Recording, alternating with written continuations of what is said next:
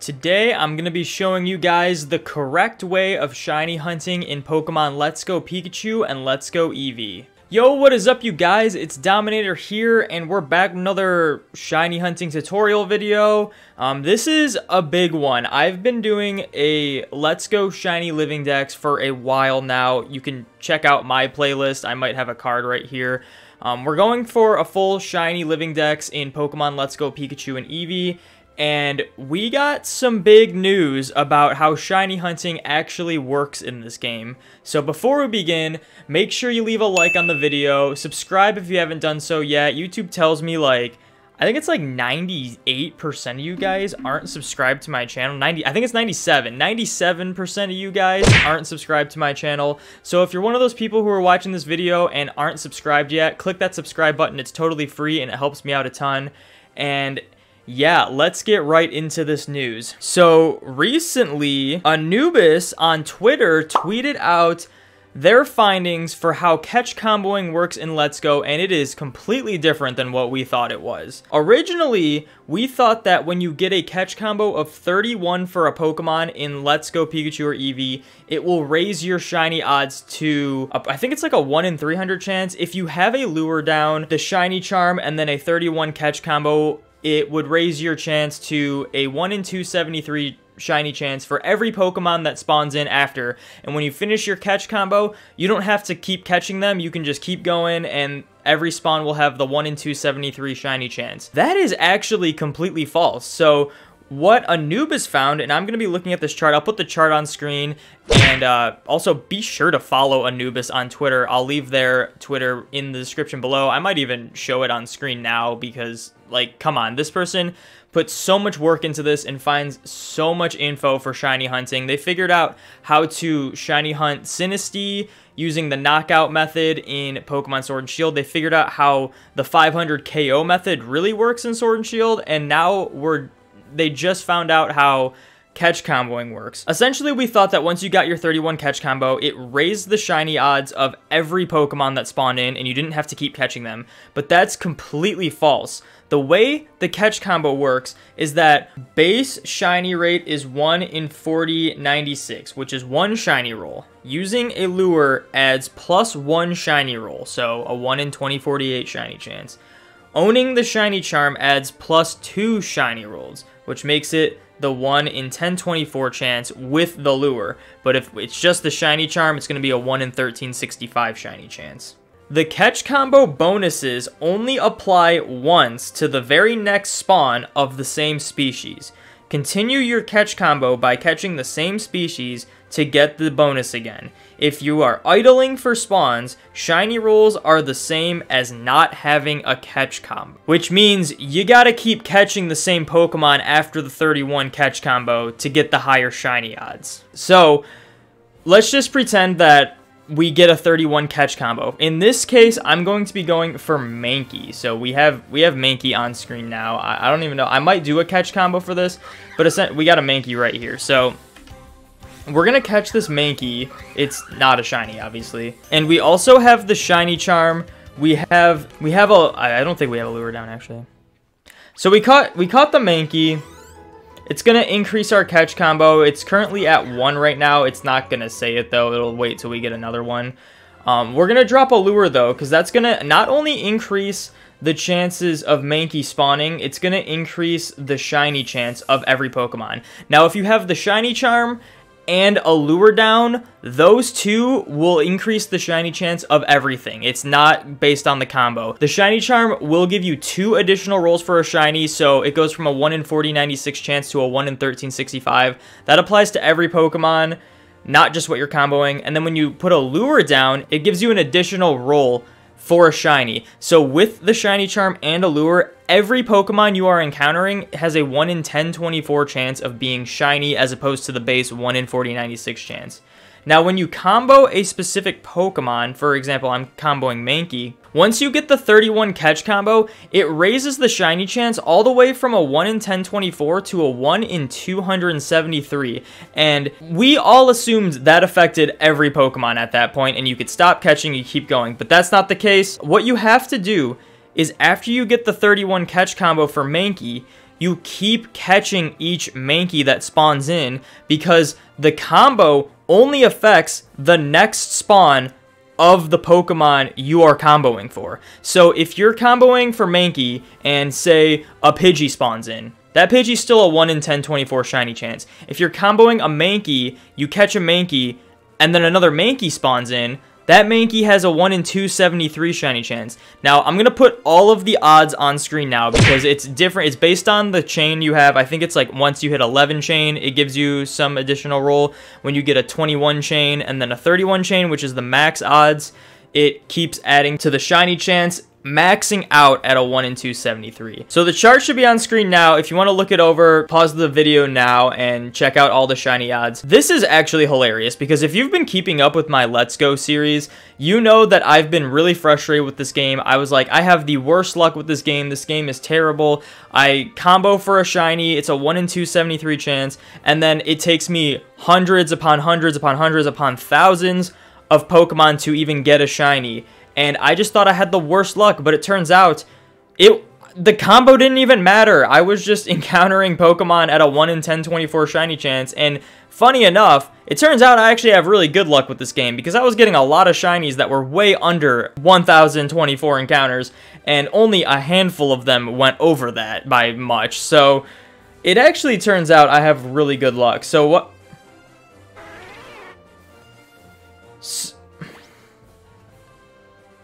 so we, we got a shiny Sandshrew, it seems.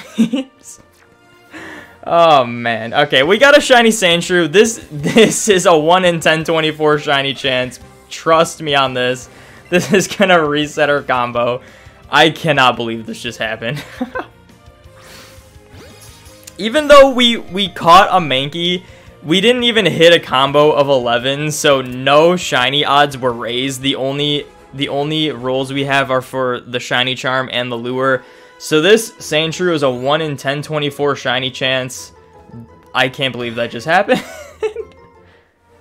so what I'm going to do is I'm going to try to get to a combo of 31 Mankey, and then I will further explain. I might even try to get a Shiny Mankey in this video. I, I already got a Shiny Sandshrew, so there's that. But yeah, as I'm trying to get these Mankeys to spawn, I originally thought that my luck was so bad at this game, but it turns out, after I got the catch combo of whatever I was going for, I would stop catching them, so that would in turn not increase the odds of anything. So I was I was essentially just getting a 1 in 10 24 shiny chance for every shiny I have essentially gone for in this game. Maybe a few exceptions, this is going to completely change the way I think about shiny hunting in this game. So we, we got our first Mankey here, but uh, I'm probably going to cut here, and I'm going to keep going until, I guess, another shiny shows up, or if we get the catch combo of Mankey. One thing I will point out is that even though, I think the reason we all thought that the catch combo just needed to be at 31 and to get the highest shiny odds is because if you look at Let's Go like this, with a lure down, you get a lot of Pokemon at a time. Like, you get a lot of them at a time. So, it's one of those things that even in a few hours, you'll probably hit that 1 in 10, 24 mark in the terms of just seeing Pokemon.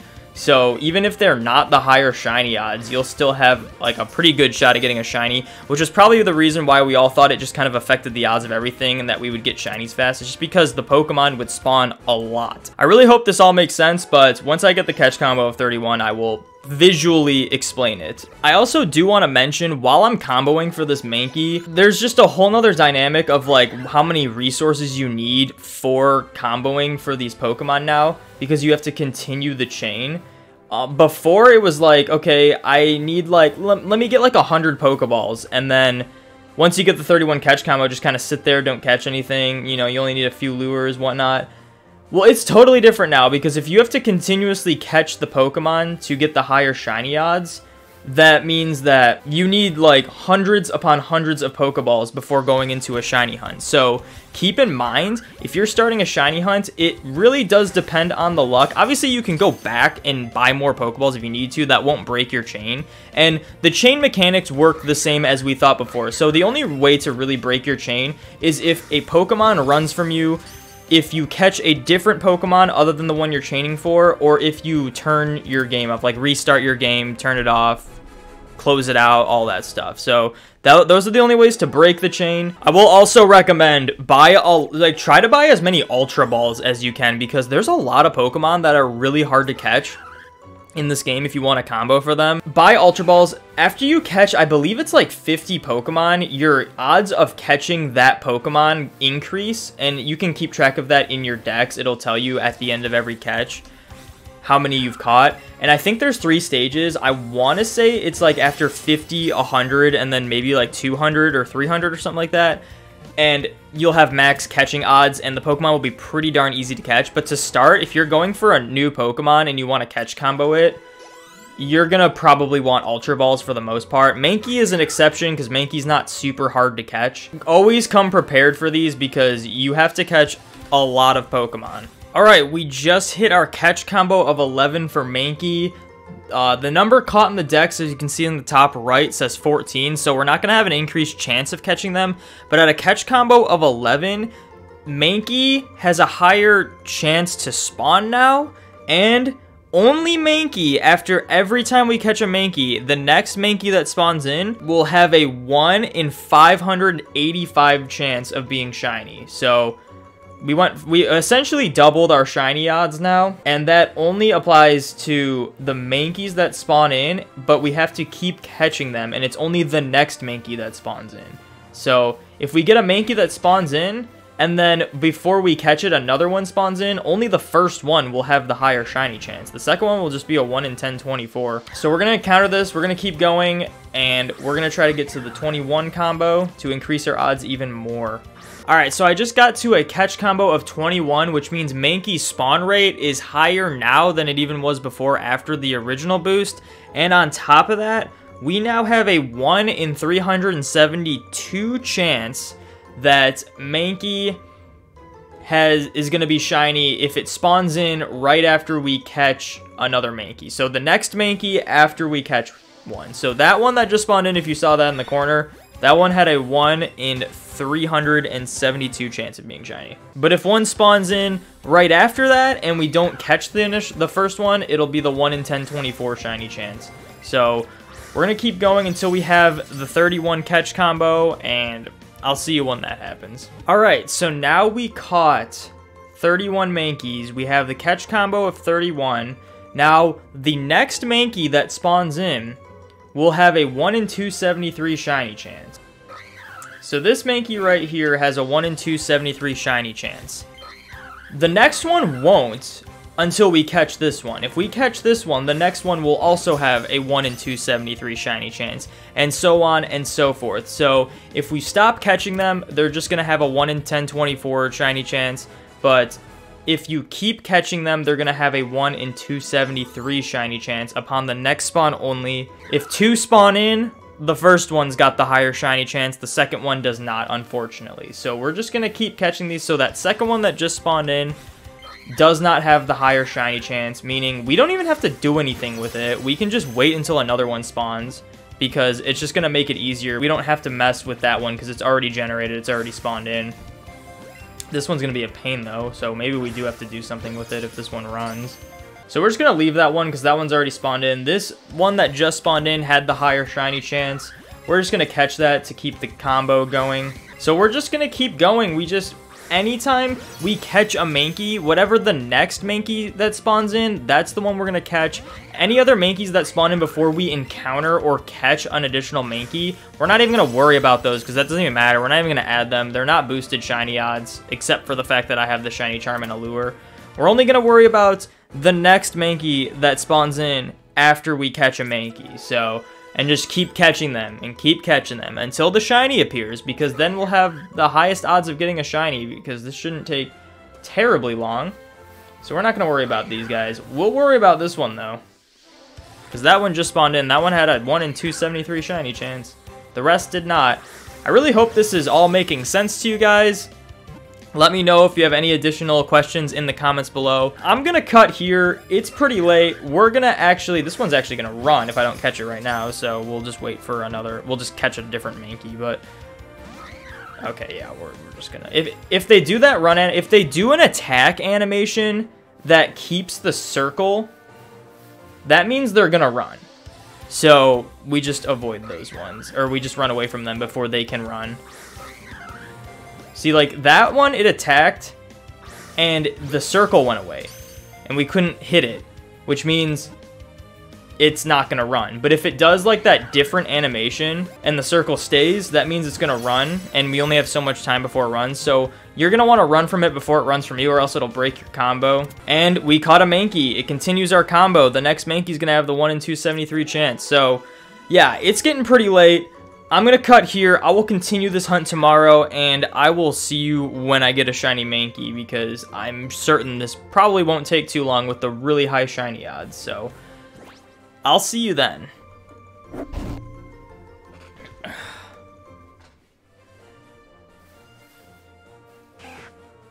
Did I have I checked my bag recently? 500. Oh, hey, we did We did it. All right. So, there you have it. We got our shiny Mankey. I'm going to quickly 175 combo. There's our shiny Mankey. Let's catch this in a Premier Ball. Now, while doing this, I definitely have my thoughts on this method.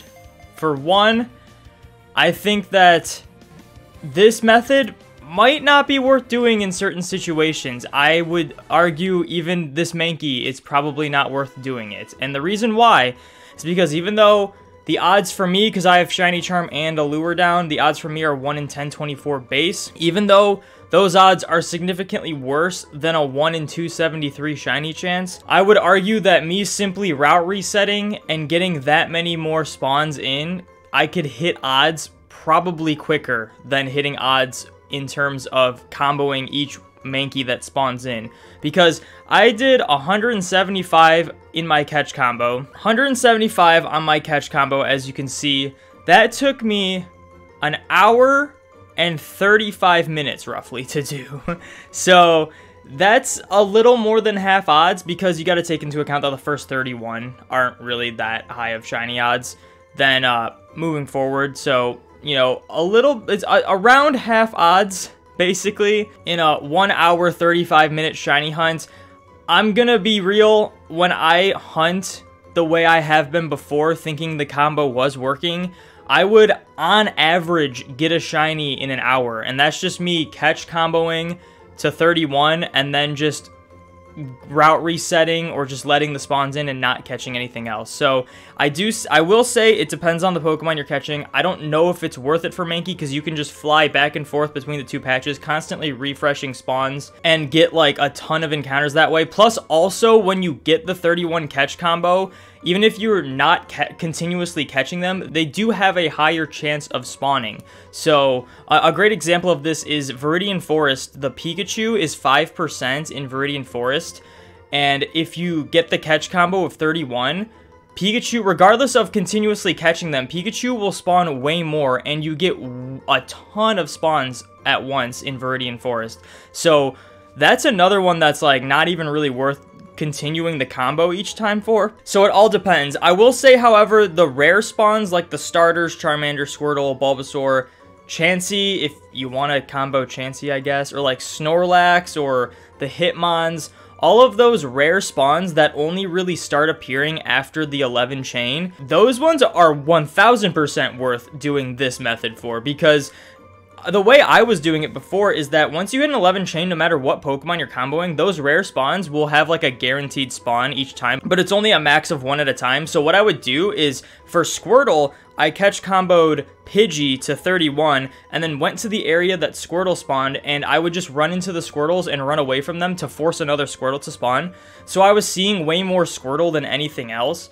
But in reality, if I were to continue to catch Squirtle to get the combo going, I, it would be the exact same encounter rate, but Squirtle would just have a much higher shiny chance. So those rare spawns are 1000% worth doing it this way. But if you're going to say like Mount Moon and you're trying to get Clefairy or you're going to like something in Viridian Forest, I would just say do it as you as you would before because you'll get so many spawns and with whatever Pokemon you're comboing, that Pokemon's probably going to spawn the most anyway, so you will be less likely to phase regardless. And you'll get the you'll probably get a shiny relatively quickly, probably way faster than doing it this way. We got the shiny Mankey. This will be going in for my Let's Go Shiny Living Dex. If you do want to check out that series, I will leave a card in this video or the end screen, and you can check out my progress towards that. Um, I am definitely going to be going about this series a lot differently now, knowing how the odds work. Um, yeah, but as, as I've been saying, it does really depend on what Pokemon you're going for. If there's an area that doesn't have too many spawn points, 100% do this. If there's an area that just like feeds you Pokemon after Pokemon, then I wouldn't even consider it because you'll you'll probably hit odds in the 1 in 10 24 scenario way faster than hitting it in the 1 in 273 scenario. So take that as you will. I will say this would have been really good to know when I was comboing for Meowth because I phased like seven times for a Meowth and I it would have been I probably would have gotten it first phase and I probably would have gotten it faster anyway because I was running into them regardless. But yeah, so it really, it depends on where you're at and it depends on what Pokemon you're going for, but uh, this method definitely works when you're continuing the catch combo. So let's check this thing out. Wow, I mean, because we're going to pretty much turn this into a Let's Go episode. Um, let's check out the Sandshrew we got to at the beginning of the video because that was a little goofy. But here's all of our Mankeys. Let's go find that Sandshrew. Sandshrew's right here. I'm going to guess it's going to be hasty nature because it appeared really fast. It's going to be impish nature. And those stats are terrible because we not we're not comboing for it. And let's check out the Mankey we just got. Let's favorite that. I'm gonna guess this one's gonna be docile nature. It's gonna be jolly, which is actually really good for this. I'm pretty sure. Yeah, it's it's lowered speed or lowered special attack, up speed. So that's actually really good for Mankey. So that's pretty cool. A few tips I will say. One thing I figured out, I don't know if this is true for every Pokemon, but I had mentioned earlier in the video that when you get, when you catch a certain number of a Pokemon, the odds of catching that Pokemon increase. So the circle color will change to closer to green the more Pokemon you catch. I noticed on Mankey that when the circle turned green, that was after I had caught 89 Mankey in my Pokedex. That is a very weird number but that was just the number I got. It was on a chain of 86, I'm pretty sure, and it was 89 total Mankey caught in the dex. I don't know if that's true for every Pokemon or if it's just around that, but after the circle turned to green, I pretty much had a 100% catch rate on Mankey. I had one instance where a Mankey broke out once, and that was it. So I guess around the 90 mark is what you're going to look for if you want to have the really high catch rate for the Pokemon. So obviously if you're chaining for them, that is a good method for that. Um, another thing I noticed is that once you start getting a higher catch combo, you get a ton of candy for catching Pokemon. I was maxing out for Mankey, for example, gives Mighty Candy. It gives Mighty Candy, Mighty Candy Large, and Mighty Candy Extra Large, and then also Mankey Candy but I found out that I was pretty much maxing out my inventory space with Mighty Candy after every 15 to 20 Mankeys I caught. So if you really want to get money, after like every 15 to 20 Pokemon you catch, go and sell your candy because you'll max out the number and you'll just overflow it and you'll lose a lot of that candy. So I would really recommend it because doing this method is very uh, Pokeball heavy. So when you're constantly going back and selling all the candy you're getting after every 15 to 20 Pokemon you catch, it'll not only make up for the Pokeballs you're spending, you'll actually make a lot of profit. Like I started this hunt with like 400 Pokeballs. At one point I had over 500 Pokeballs. And we also ended up buying like 50 more Great Balls. Right now we have 630 Mighty Candy. We have not been catching that many since we uh, sold the last of it. And we also have 32,000 Poke Dollars, which we, we pretty much started at like zero. So, um, and that's after buying a bunch of Pokeballs and stuff already. And we still have this much money and that much candy to sell. So every like 15 to 20 Pokemon, once you get past like the 50 chain or so, go back and sell your candy if you want to make profit on it. Also, like I would say if you're in like a cave that's hard to traverse and you don't want to do that every time, just don't worry about it. Just make sure you like go through the Elite Four a few times to get a lot of money to make up for the Pokeballs you're going to use. Other than that, I'm pretty sure that's that's everything I want to talk about with this method. So let's take our Mankey out of the Pokeball. I also want to say I started, uh, there's the comparison if you want to look at that. Um, I also want to say that I was only keeping track of the Mankeys that had spawned in right after catching a Mankey. So if two Mankeys spawned in, I would only I would only encounter one of them, and I would only catch one of them because when you catch one, the next Mankey spawn is going to be the thing that has the highest shiny rate. Meaning, if two spawn in, you don't have to catch both of them. You just have to catch one of them and then wait for another one to spawn. So you can just leave the other one and not worry about it. So that's what I was doing. I was pretty much only keeping track of the catch combo. I think moving forward in my series, I will only, I probably won't keep track of the Pokemon anymore if I am doing this method because the the catch combo is just gonna keep track for me anyway. So other than that i think that is it. If this information helped you a lot make sure you leave a like on the video. Subscribe if you haven't done so yet. And that is gonna be it for this video. Thank you guys so much for watching. Make sure you like, comment, subscribe, ring those notification bells, all that good stuff. Be sure to join the domination, and I will see you in the next video.